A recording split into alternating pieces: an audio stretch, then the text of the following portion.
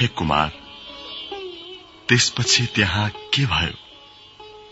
ती सबै वृत्तान्त सुन्न पाऊ प्रभु। आज्ञा होस्। हे अगस्त्य मुनि अनि पछि रावणले देशमा राजा नहुनाले मन्त्रीहरूले हात्तीलाई सुवर्णको कलश र फूलको माला दिई राजा खोज्न लगाएका थिए। लोकले थरी थरीका गहना कपडा पहिरी आएर राजा हुन्न पाइएला कि? नभए रमिता त हेरिएला भनी हात्तीको नजिक अघि पछि हिँडुल गरी हिँड्न लागे। नवराज पनि त्यही पुगेर पछिल्तिर पाटिनेर बसी हेरिरहेका थिए। त्यसै बेला हरिहरले हात्तीमा प्रवेश गरी नवराज ब्राह्मणको नजिकै गई फूलको माला लगाइदिए र सुवर्णका कलशले अभिषेक गर्नुभयो।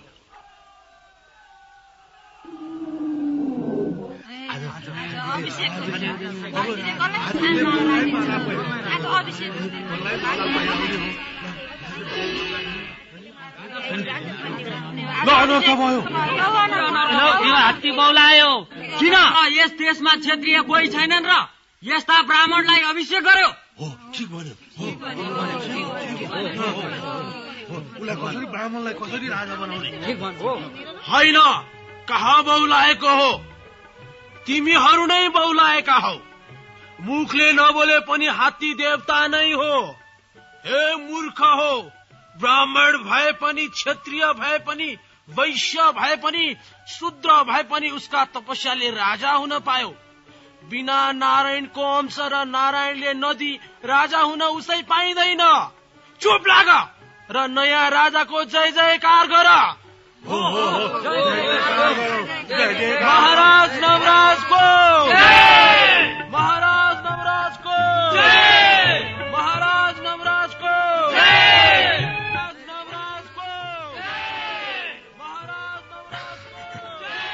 हे महाराज।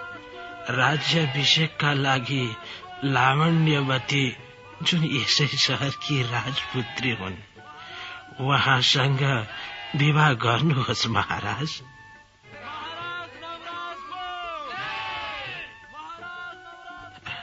लौ महाराज अब सुदिन ठहराई अभिषेक लिनुहोस्। गुरु पुरोहित तथा मन्त्रीवर्ग मेरी महातारीले नदी अरूको हातको अभिषेक कसरी लिऊ? चन्द्रज्योति नगर बाहिर खरको एउटा झुपडी छ। त्यहाँ गोमा नाउँकी ब्राह्मणी छन्। ती मेरी महातारी हुन्। मन्त्रीहरू चाँडै लिन जाने व्यवस्था गरिदिनुहोस्। महाराज हजुरकी महातारीलाई म आफै लिन जान्छु।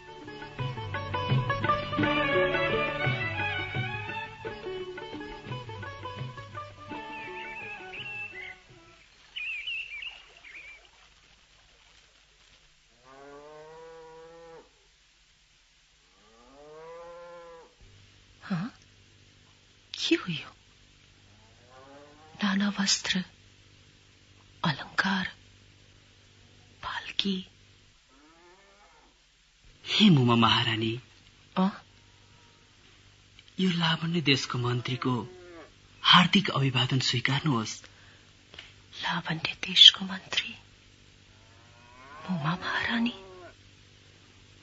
मन्त्री हजुरका पुत्र नवराज लावण्य देशका राजा भइबक्स्यो उहाँको मन्त्री हो। तपाईँलाई लिन पठाएको हुनाले पाल्की आदि लिएर आएको छु। गहना पोसाक पहिरी पाल्कीमा राज गरी पाल्नुहोस्। हे कुमार गोमा ब्राह्मणीले कस्तो अनुभव गरिन्? उनी मन्त्रीका साथमा लावण्य देश गइन् कि गइनन् त्यो सुन्ने इच्छा जागेको छ आज्ञा होस् कुमार। हे अगस्त्य मुनि त्यसपछि गोमा ब्राह्मणी आनन्द मानी उनले ल्याएको गहना वस्त्र पहिरी पालकीमा बसी लावण्य देशमा जान निस्किन्।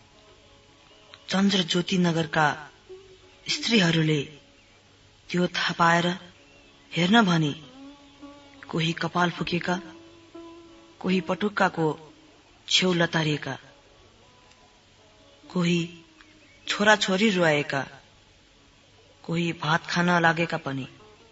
त्यसै छोडी हतपताउँदै निस्के र हरे सधैँ अर्काको ढिकी जातो गरी निर्वाह गर्ने गुमा आज महारानी भई पाल्कीमा बसी गइन् भनी कुरा गर्न थाले। गोमा त्यहाँदेखि गई लावण्य देशका नजिक पुगिन्।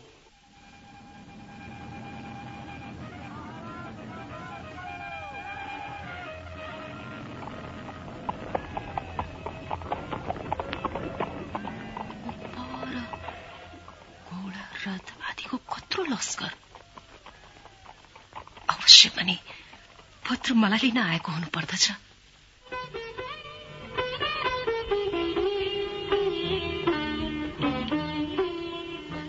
माता माता हजुरको पुत्र नवराज साष्टाङ्ग प्रणाम गर्दछ। हे माता हजुरका तपस्याले र हरिहरका कृपाले आज म लावण्य देशको राजा भए। धान्य हजुरको तपस्या। धान्य। माता अब अभिषेक पनि दिनुहोस्।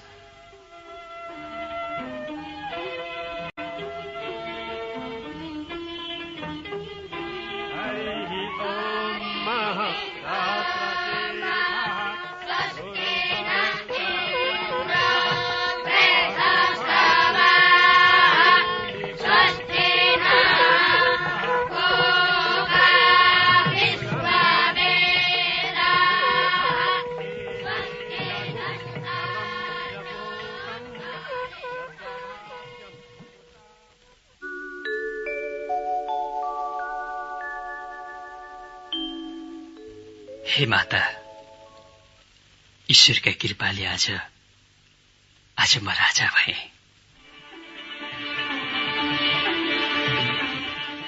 अब आफ्ना राज्यमा भएका जति सबै ब्राह्मणहरूलाई डाकी भोजन गराऊ र श्रद्धापूर्वक दक्षिणा दिऊ हे माता यस जन्ममा धर्म गरे पो अर्को जन्ममा मोक्षी पाइएला। हे पुत्र तिमीले बेस भन्यौ। तिम्रो यसरी नै सधैँ धर्ममा चित्त लागोस् पुत्र। मन्त्रीलाई हराई ब्राह्मणहरूलाई निमन्त्रणा गर्न पठाऊ।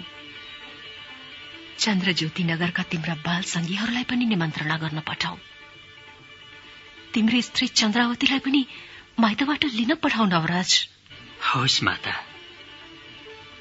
हे मन्त्री हाम्रा राज्यमा भएका जति ब्राह्मण सबैलाई भोजन गराउनु पर्यो।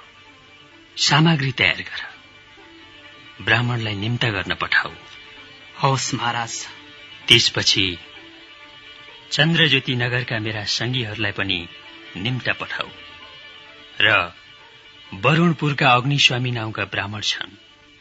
तिनकी पुत्री मेरी ब्राह्मणी हुन्। उनीलाई पनि लिन पठाऊ। मेरा सासु ससुरालाई पनि चार दिनमा यहाँ आइपुग्नु भन्ने खबर गर्नु। हवस् महाराज।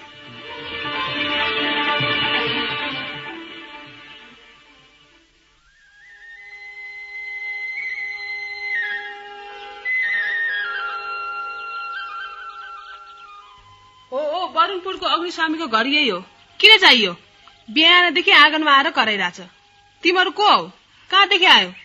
नवराज राजाले पठाउनु भएको र लावण्य देशदेखि आयौं। ए डोले हो तिमीहरूले नवराज राजा पनि आश्चर्यको कुरा गर्यौ। होइन कसरी राजा भए हो?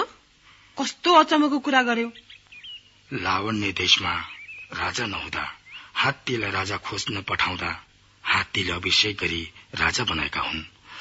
चन्द्रावती रानी कहाँ हुनुहुन्छ? बरु चाँडै खबर गरिदिनु पर्यो। हामी नगएमा राजा हामीसँग रिसाउनुहुनेछ? ए ए ए डोले हो। चन्द्रावती नाउँ भएकी उनकी ब्राह्मणी मै हुँ। हे महारानी चाँडो जाउँ। विलम्ब नगर्नुहोस्। तपाईँको बाबा महातारीलाई पनि आजका चारै दिनभित्र आइपुग्नु भनी निम्ता पठाएको छ। तपाईँले नै खबर गरिदिनु पर्यो। लौ लौ। एकछिन पर्ख है।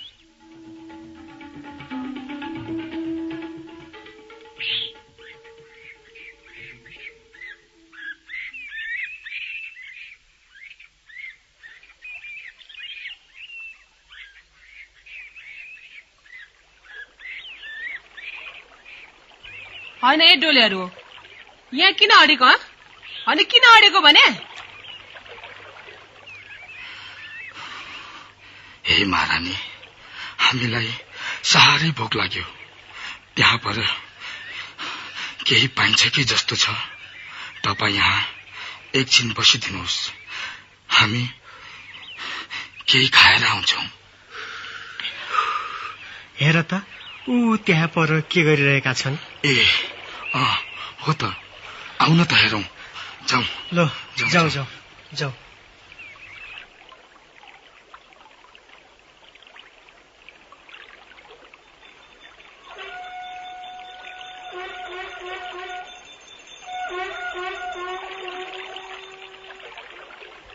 तपाईँहरू को हो?